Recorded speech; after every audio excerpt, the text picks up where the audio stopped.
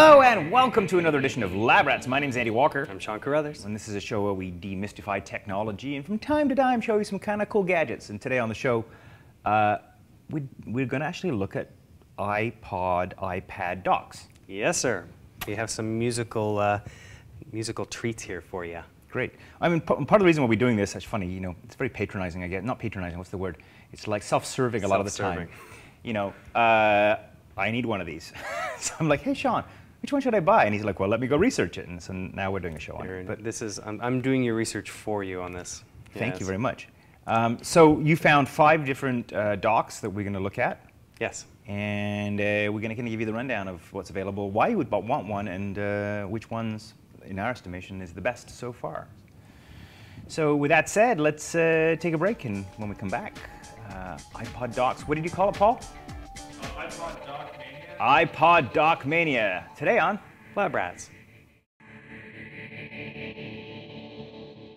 Welcome back to Lab Rats. So before we get started, a quick message from our sponsor. This week I want to talk about VeriSign, one of our partner companies uh, to our uh, company Tucows, which of course owns Butterscotch.com these days. Um, and so VeriSign is a company that's trusted to run and safeguard .com and .net right? So they're one of these big, uh, awesome companies in behind the internet that really allows the internet to function, kind of one of those hidden, you know, uh, plumbing companies. They make stuff work. They make stuff work on the internet. So if you know, if I want to send an email to you, well, the, part of the reason my email get, comes, comes from me and goes to you is because VeriSign is in there making things reliable and they safeguard, you know, the important things that run the internet. So uh, if you want to find out what it takes to, to run .com and .net, Find out at verisigninc.com slash connect. That's verisigninc.com slash connect. There you go. All right. Now you wanted to, the, I wanted to call this iPod Dock Mania. Did you have a different name for it? Dockstravaganza. Dockstravaganza, all right. And, and I think Paul said what, Doc? Doc, doc uh, I can't say it. Yeah, that, that's not a great one if you can't remember how to say it. That's right, exactly. It's poor branding. Doc, Dockpocalypse. That, anyway. that actually sounds like you're going to wreck your iPod. That's true. That's true. So, and this, these two completely the opposite of that. They actually enhance the experience of the iPod. Yeah. So let's talk about you know why you would even think about buying a dock. Like, what's the why? Why bother? You have this thing. You can plug your headphones in. What's the point? Okay. Well, I want you to think back into the day. So you used to gather around this thing that made music and it had like a CD player, a cassette player, or if you're of our vintage, an eight-track player perhaps. and it all sat there, and this is how we listened to music. It was a big deal. It was a stereo, right? It was a, stereo system. Stereo. I mean, when you when when we, we were you know young and impressionable. Uh, you wanted a stereo. Stereo was the big deal, and it was like, what brand are you going to get, and how many components, and how big are the speakers, and do they have tweeters, and yes. And teenagers these days don't even think yeah. about stereos. Well, there was a big shift uh, at the early part of uh, this century where uh, people started making everything mobile and digital. I mean, I guess the shift started earlier as people started getting the cassette Walkman and then the CD Walkman, and then it all went digital back in the late 90s, uh, early zeros. So uh, people took around their iPod everywhere they went and listened to their music everywhere. So a lot of people were just collecting the music on their computer and then transferring it to the iPod and that's their music collection. Mm -hmm. So you say to to people these days cassettes and CDs, and they're like, hmm, oh. I don't got any. Yeah. Why would I have those? Yeah. So this shift means that we have to find a different way to listen to music when we're doing it in our house potentially. Yeah. So some people still have the home theaters, but for a newer generation that isn't, uh, you know, they haven't grown up with those things that are the size of a, a bread box or, or a microwave oven that play their music, then they're going to want something new to replace that or to create that same functionality in the house. Right. And enter the enter iPod, the iPod dock. docks. Right. So the one nice thing that uh, Apple did when they released the iPod is to have a universal connector on the bottom of their player. So not every player that's out there has a universal connector for transferring music out there, except for maybe the headphone jack, and that can be a little bit unreliable when you're using that with an external dock. So they have something on the bottom on every uh, single device. It's called the universal connector, and you can actually connect this right here to anything that uh, you know supports it and is certified by Apple, and then you can transfer the music out the bottom and mm -hmm. charge at the same time. Mm -hmm. And that's one of the nice dual features of these docks is each of these things has that connector on the top here, and uh, you can actually plug your iPod or iPad in some cases into this.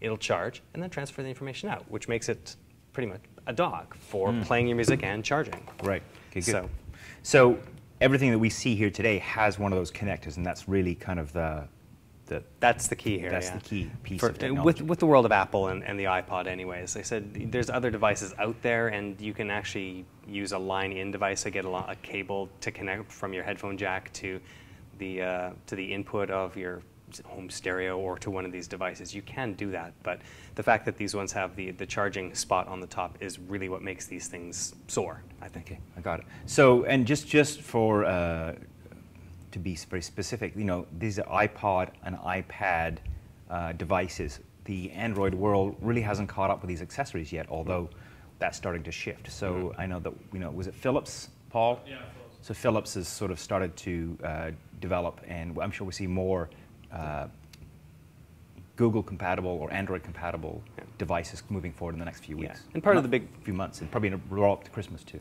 Yeah, and part of the big reason for that as well is the non-standard nature of the way they implement it. So when you get an Android device, the charging port could be anywhere on it. It could be on the side, could be on the bottom, theoretically it could be on the top. So there's no standard way. These ones you just flip your iPod upright and stick it in. So you've got these different sizes that we've got here, and uh, they all fit onto it in exactly the same way in the same orientation. So.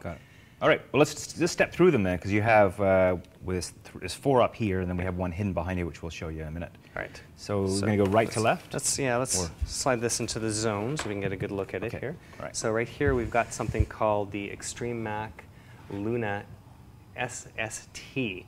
And uh, this is your standard kind of dock. Again, we showed this one earlier at the beginning. It's got the, uh, the connector up here for you to put the iPod. Got the controls up here for you know uh, play and pause. You've got uh, dual alarm clocks on this. A little spin wheel here for interacting with it. In this case, it's uh, turning the, uh, the light up and down, which is important when you have an alarm clock in the, uh, the bedroom because you don't want this thing blasting light into your room in the middle of the night. So a lot of these things double as uh, alarms for your bedside table. Right. uh, Most of them uh, have like FM, AM radio. They uh, have uh, alarm clocks in a lot of cases. Not everyone does, so you might want to check if this is one of the things you're really looking forward to. This one does? This one does. Yeah. Uh, it's uh, got the ability to um, to wake to the uh, your iPod. You can set a playlist in most cases on, on these docks and, and wake to a certain playlist, so you don't get woken up by something at random, or you can wake up to FM radio. So. Right. So I noticed this one is actually charging too. I don't know if Yeah. you could Yeah. see that before. Yeah, right now it's it's it's charging Oh, uh, right now, it. and this again one of the main points of it. So when you're not actually playing something, it'll start charging it. So, but Yeah. then then you can press the play button, and then it'll wake up and start playing something. So now we're listening to uh, a, a little remix here from our friends uh, Depeche Mode, and uh, again we can turn the volume up using this now and listen to that. And, uh, and then skip through the tracks. Generally, they, they have a remote here, so we've got the remote for this one, and it comes with all of the play controls on here, so we can flip to a different track and such, play, pause, change our source, so we can go to the FM radio, which is untuned right now, as you can hear. So, anyways, you, you get the point, and you can turn it off that way too. So, um, hit it right. So, anyways, it's hard to do this backwards. Source. So, source. There we go. So uh, the one neat touch about this one, uh, as opposed to a lot of the other docks that are out there. By the way, this one is $129.99. It's a good deal. It's, it's not bad. It sounds okay, and, uh, and, and it does have this one neat feature. You can actually flip this one speaker off. So we can actually take this speaker, have this on one side of the bed, and have this one on the other side of the so bed. you'd be like sleeping Yeah. inside the stereo zone. Right. So, like, if, if both you and your partner wake up at the same time, this is one way to do it, or you can listen to music at the same time. So, it, it does come with this cord right here that basically attaches one to the other when you're not uh, separating it, just to keep it secure. Otherwise, you've got this huge length of wire connected to it, and you know it takes all the way out to a different section, right? So, and, and from the looks of it, it's just standard telephone wire. So, if you want to make it even longer, you could probably jury rig your own solution. Hmm, neat. So, so there you go. That is the Luna SST, and it's like I said, a little bit more flexible that way. Good. Good stuff. Okay, great. Okay. All right. What's next? So I'll put this one, try to put this one back together, and tuck it away. So next up, we've got this one from our friends at iHome, No, I'm excited about this one because uh, you know I, I, had to say I went looking for a uh, an iPad dock uh, mm-hmm. at the Apple Store, mm-hmm. and uh, there, there's not there's not a lot to choose from. Yeah, that's that's definitely true. Uh, this is one of the few that uh, I've seen that does iPod and iPad. So this one has a bit of a a bit of a, a adjustment here so that you can actually accommodate both the iPods or the iPad. So let's see, let's take this off right here, and it's got a little bit of a, a stand here to actually brace the iPad so it doesn't actually kill the connector. And then you put this back on like so. It's a little bit uh, hard to get this one on and off because it does wiggle back and forth, but it does give you the ability to adjust it like so. So anyways, and you see now it's charging here as well, so you can charge your iPad, play the music from it uh, like you'd expect. So and just press the play button on the top there and it'll start to, to play what I have in my queue here, which is a big star track. And, uh, and then we uh, can just adjust the volume like such. Does it sound good? It, it does sound uh, fairly good as well. So, um, Can we push play? We uh, are pressing play. Demo itis. Oh, I don't like so this. So. Okay, so we are in an app. Uh, this is why I guess we're, we're in an app mode right now. Yeah. So, and the volume on this was uh, pushed down over here. So in this campaign, now we're listening. Up. That's the the radio, uh, other radio, and uh, I think we are in auxiliary input. So most of these also have inputs from. There we go. So. And so you can turn it up, and it sounds reasonably good. The problem, the problem with most of these little docks, as, uh, as we uh, have seen before, is they have fairly small speakers. So they sound reasonably good, but they're not earth-shattering sound on most of these. So mm. you're not going to be holding a huge, huge party with most of these. Right. Uh, again, this one, uh, 139.99 has inputs on the back. Uh, and it does have the ability, uh, like we were showing earlier, I sort of got ahead of us, to, to have apps. You can download iHome apps here that will give you the ability to, uh, to go in and actually adjust the settings up here. So you can adjust your alarm times here. You can adjust uh, the mode you're in. And is that, an, is, that an, app, an iHome app that comes for the uh, for the iPad? Right, yeah. yeah. So, so, for the iPad or the iPhone, uh, you can just download it and uh, for free uh, in all these cases, and away you go. And what does this cost? Uh, this the device itself, one thirty nine ninety nine. The apps are free. So there, there's that one for setting, and then there's one for sleep. So you have the ability to set up a sleep mode here as well using this one particular app. So there is a on the high end of on this line, uh, not this particular line, but uh, from B&O from Bang & Olufsen, they have a, a product called Beosound. I think it's eight and it's a thousand dollar solution. Mm-hmm. I mean, as always, you know, B&O, they're fantastic devices. You're going to pay a premium. Mm-hmm. Uh, maybe we can just put a, an image up here just to have a look at that because it's very, very cool. Um, I really wanted one of these, but when I hit, saw the thousand dollar price tag, I, I just decided that I was going to have second thoughts about it. Yeah, it's hard to justify some of these. I know that uh, there's another one from another high-end uh, company as well, Bowers and Wilkins, that does something called the Zeppelin. That again is very expensive, sounds very good, mm-hmm. uh, but yeah, you look at the price and it's it's hard to justify unless you really got a lot of cash to, to kick around. Okay, good. I think so. All right, there we go. So, so moving on to the Memorex. Yes, this product. is the Memorex Party Cube CD, and now this is a bit of a different story here. This one right here is very boxy, and that's, that's for a reason. So again, we've got uh, the we've got the iPod uh, charging here, and uh, we've got some okay sound here. It's it's not really earth-shattering again, um, but you know you can turn it up so again, the problem with most of these is a little bit of tinniness on, on the sound. So, but I guess you could take it and carry around. You know, it's got like a little uh, handle on yeah, here. Yeah, that's the, the, one nice thing about this is you know, unplug the this thing and then just carry it around with you. It's not, it's got a built-in battery that is designed to last uh, for a few hours. You can see it's got speakers on the back as well, and some other inputs that you can use. So. Uh, again, it has your radio, it has the input on the back for other things like your Android phone, for example, and it's got the iPod dock. Uh, on this, it does have a slightly adjustable uh, uh, thing here, so you can actually brace uh, the iPod here if it's a different size. And the one neat feature about this one, it's called the Party Cube CD, and it's called that because it's got a CD player in the top as well. What? What's that for? I don't understand. That's for playing those uh, shiny metal discs that used to be the rage uh, oh, 10 right. years ago. Yeah. So if you got a big CD collection, and you don't want to just uh, say goodbye to it completely. You can actually put in a CD in there and play that as well, which you don't see a lot of CD players these days, but this one is able That's to play right. them. That's cool. It's yeah. a little retro. A little retro. Good stuff. Right. And then finally, so, this really high-tech looking white cubey thingy that looks very much like Yeah, so an Apple accessory. Yeah, so it's, it's kind of like an Apple accessory, and uh, we've talked about Sonos before in various places on Butterscotch, and this is the wireless dock. It's now just called the Sonos dock.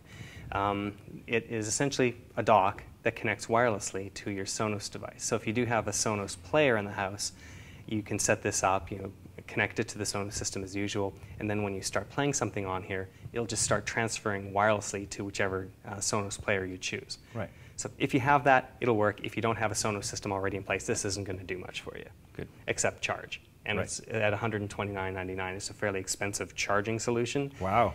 But when you have the Sonos system in place, it's, it's really good. I mean, you're going to be bringing your Sonos music in from elsewhere, but if someone else wants to bring in their iPod and just uh, So something like this iHome thing is 139. Yeah. And then this little device is 129. Yeah. yeah, but it's got the Wi-Fi. It's got the Wi-Fi built in. Hmm. Oh, it does. Okay. Yeah, so right, I mean, well, th- these ones don't have wireless transmitting capabilities. They're just players. we might let them get by with that. Yeah. All right. Cool. All right, All right. so we have one more for Well, you, sir. We've let's let's wait saving- for that. Let's take a break. sure? Yeah, yeah. But I'm gonna I just- I'm- I can't wait to I'm get just to gonna it. let you. Can we? Can you see this, Paul? If I just lift it a little bit, just a little bit. Uh, a little bit. There you go. See, this is what we're gonna show you after the break. Look how cool it A is. little, a little blurry. It's a little yellow. I'm gonna, keep it blurry so that people don't know exactly what we're doing. so, so let's take a break. And when we come back, we're gonna show you that cool blurry yellow thing because it's kind of the monstrous version of this. Hmm. I wonder why he said that. All right, we'll, uh, we'll be back uh, after this message. Welcome back to Lab Rats. Well, as we promised, we're going to show you a monstrous version of all these uh, docks, and uh, so let's should we pull them up? Yeah, let's pull them up. Oh my God! So exciting! Look, yellow, the yellow beasts, yellow monsters. Yes. So who makes these, Sean? Monster. Oh, surprise! Yes. The guys that make overpriced cables. Yeah, so this is uh, called the Clarity HD, and uh, if you're thinking overpriced cables, well, this one you can, you can judge, I guess, after playing and listening to one of these whether they're overpriced. Uh, they're right. 750. So up in the $750. Seven hundred Okay, fifty good, I dollars got for, for the pair. For the pair, yeah. Uh, and that's uh, you know, Does it come with the iPad, the iPod? it doesn't come with No, the okay. iPod, but it does come with uh, handles up at the top that uh, you can. Yeah, handles are very expensive to build, by the way. Yeah. So you know. Um, Notice that the other ones didn't come with handles because they're very expensive to manufacture. And it does come with a, a little remote too. Not necessarily the, the biggest, most uh, well-designed remote in the world, but Yeah. whatever. Th- this this is a thing of beauty design-wise, I think. Um, it sounds pretty good too. So I mean, we can we can play. Well, that, yeah, that's going to be the proof, right? So Okay. all joking aside, let's let's hear them. all right. So play this. Push play. I think all these remote controls are a waste of time, really. So let's just play something here. So a little bit of uh, a little bit of Kraftwerk here.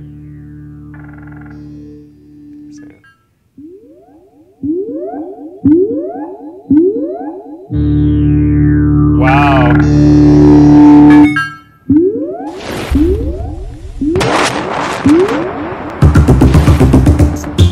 Okay. okay, I think the neighbors downstairs probably hate us now. I take it back. That sounds fantastic. Yeah.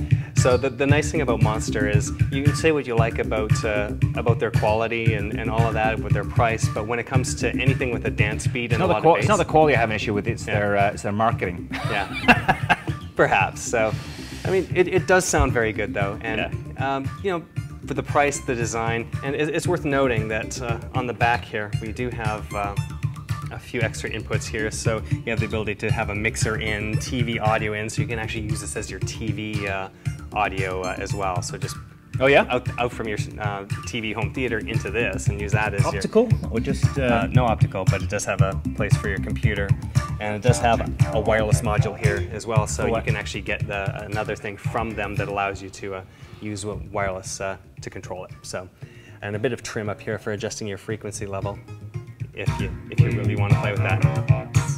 It just softens it a little bit uh, in certain frequencies. So.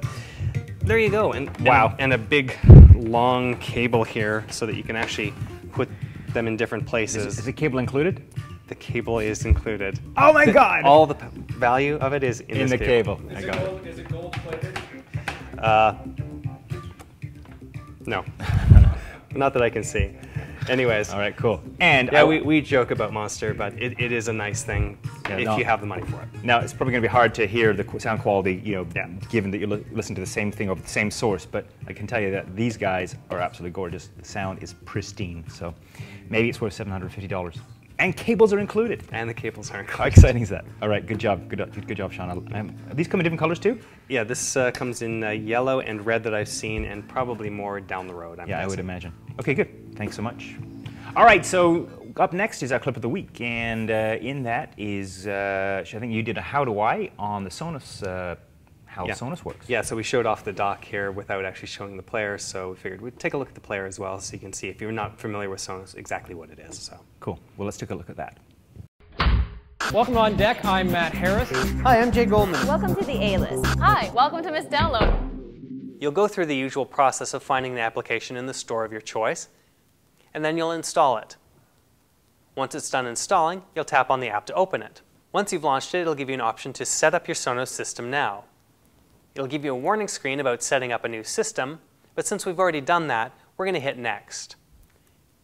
It'll ask you to tap on one of the buttons on your devices to connect it to your existing Sonos system. So you'll need to make sure that your iPhone or iPad or your Android device is connected to the same Wi-Fi network that your Sonos system is already plugged into. Welcome back to uh, Lab Rat. So if you enjoyed that clip, you can see the whole series uh, at this URL on the screen. Zip on over to butterscotch.com, check that out. Uh, you did how many parts was it? It was six parts. so Six far, yeah. parts, right. So on how to actually buy, install, and use your Sonos uh, sound system. Very cool. Good work. All right. So uh, up next, picture time, our favorite part of the show. So how many pictures do we have this week? We have three. Three you pictures. haven't done the dance yet. Picture time, picture time, picture time, picture time. All right. Let's do it. You have uh, received your reward here. The Yes. first picture is uh, from our uh, viewer Carl, who has uh, a couple of cats. And this right Is here. this two or one cat? That's a good question. This right here is the first of the cat. What did, he- Juliet. what did he? What did Juliet eat? I Like a small raccoon? don't know.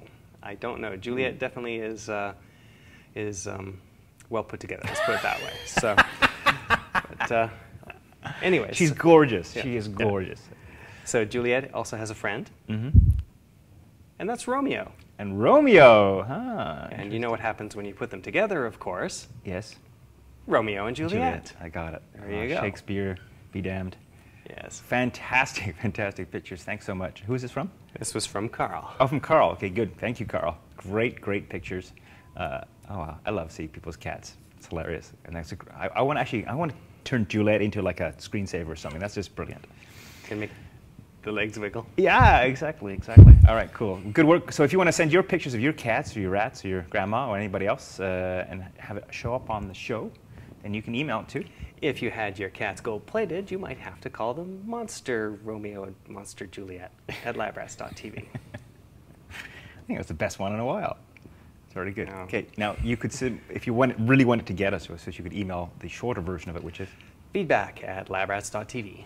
And we have a little announcement before we uh, wrap the show today to let you know that uh, because of the Mayan calendar predicts the end of the world in 2012, we are now going to we're going to wind down lab rats. You know, before, well, in fact, the Mayan calendar predicted the end of the world. I think they predicted the end of lab rats, but they're just they? off by a bit. You're off, off by a few months. Yeah. So sad to say that we're going to wrap up the show on our 300th episode, which is coming up uh, in, a, in a few weeks' time towards the end of 2011.